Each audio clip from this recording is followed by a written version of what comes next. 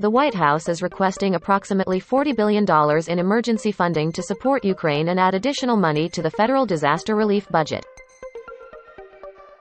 Nonprofit science and technology company Battelle landed a $107 million task order from the Department of Defense to accomplish analysis, assessment and evaluation for the cause of force health protection.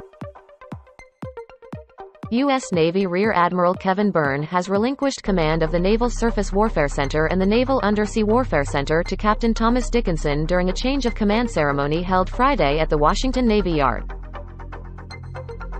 Ignatius Buck Liberto, Director of Cybersecurity Risk Management and Compliance at the Office of the Chief Information Officer at the Department of Energy, discussed how DOE has shifted from a perimeter security approach to zero trust to better protect sensitive data and critical facilities from cyber threats.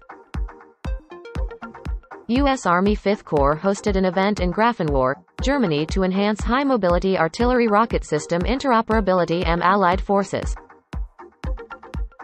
Sethuraman Panchanathan, Director of the National Science Foundation, and Arati Prabhakar, Director of the White House Office of Science and Technology Policy, underscored the impact of President Biden's Bipartisan Chips and Science Act on accelerating U.S. leadership in innovation during a roundtable discussion at the University Nevada, Reno.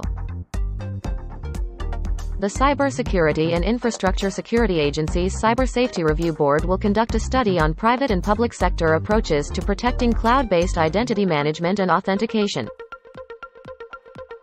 The U.S. Air Force is inviting small businesses with Phase 2 projects under the SBIR and STTR programs to bid on its Strategic Funding Increase and Tactical Funding Increase initiatives for fiscal year 2024.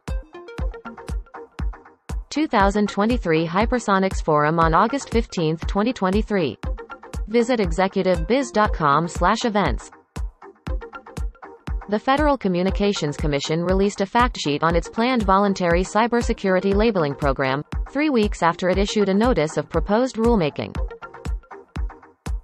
United Launch Alliance added a two-foot auxiliary target to NASA's Space Launch System for use in the Artemis II manned mission to the Moon.